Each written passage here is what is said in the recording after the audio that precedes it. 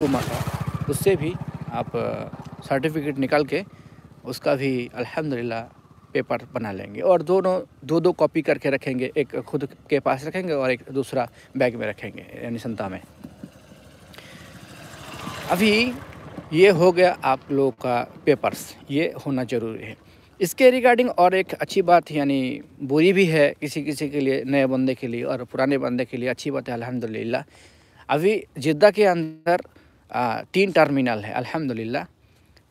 शायद हम लोग गलत भी बोल रहे हैं, क्योंकि बस एक टर्मिनल जो है जदीद जिद्दा जदीद एयरपोर्ट बोलते हैं जिसको।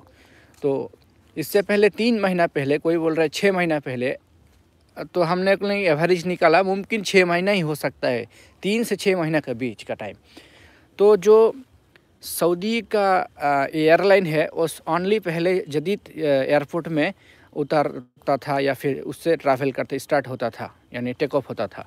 तो अभी जो इमाराती है फ्लाई दुबई है, और और क्या क्या है, हम लोग वीडियो बनाए हैं, बाद में उसका फुटेज डालेंगे इन अज़ीज़ इसका रिगार्डिंग यही बोलना चाहते हैं कि अगर आप लोगों को ये बात मालूम नहीं है तो दूसरों तक ये बात जानते हैं तो फैलाइए।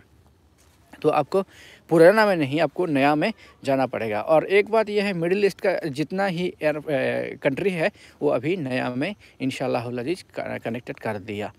सो so, आप कनेक्टेड फ़्लाइट में आएँगे या फिर डायरेक्ट फ़्लाइट में आएँगे इससे कोई लेना देना नहीं है। बस थोड़ा वेटिंग कम है तो ज़्यादा बेहतरी होगा। देख लीजिए हम लोग पैसे के लिए गए हैं। अगर पैसे ही थोड़ा आने का टाइम में ख़र्चा होगा तो टेंशन तो हो ही गा ना। तो बात यह है कि इसके रिगार्डिंग अल्हम्दुलिल्लाह जितने हमने जर्नी किए हैं Jeddah to Dubai Dubai to Kolkata, अल्हम्दुलिल्लाह कनेक्टिंग फ़्लाइट सो जब अपने जिद्दा में जाना है, जाने के बाद अपना लैगेज अगर आपका फ़्लाइट का हिसाब से अगर मान लीजिए क्वांटिटी है, यानी किलो लगेज उसी का हिसाब से लेके जाइए।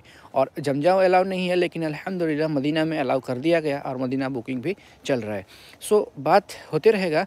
तो इसका रिगार्डिंग यही है कि जमजम अगर दो चार पीस बोतल छोटा वाला बुनुस वाला, लेके आ सकते हैं छुपा के तो इन मैं तो ये नहीं कहूँगा कि आप लेके आइए। मैं यही कहूँगा, अपना रिक्स अपना रिक्स जो है, वो रिक्स उठा के अगर सोचते हैं कि ला जा सकता है तो लाइए। नहीं तो मैं ये सोचूँगा क्योंकि जमजम लाना भी थोड़ा ज़रूरी समझता हूँ, इसलिए कि देखिए, जमजम तो एक अल्लाह का नियामत है और मैं ये नहीं कहूँगा कि आप लाजिम लेके आइए। आप नहीं लाना चाहते तो ना लाइजिए ला लीजिए।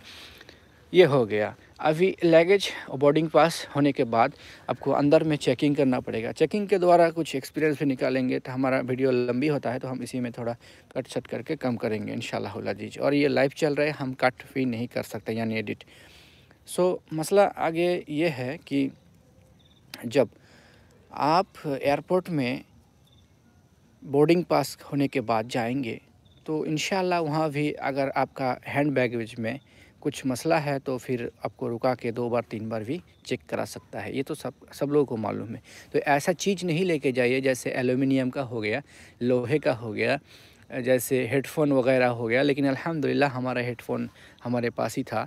ऐसे वाला, ये देख लीजिए, मैं दिखा रहा हूँ, यहाँ पे तो अभी शाम होने वाला है, ये नहीं दिखाई दे रहा है। लेकिन इन हम दिन में भी ये वीडियो बना के शूट करके अपलोड करेंगे। सो so, इसलिए ये मैं लाइव कर रहा हूँ क्योंकि टाइम हमारे पास बहुत कम है और थोड़ा हम निकले थे मस्जिद के बाहर से ही तो अल्हम्दुलिल्लाह ये टाइम मिल रहा है और हम बना रहे हैं। सो so, इसलिए भी माफ़ी चाहते हैं।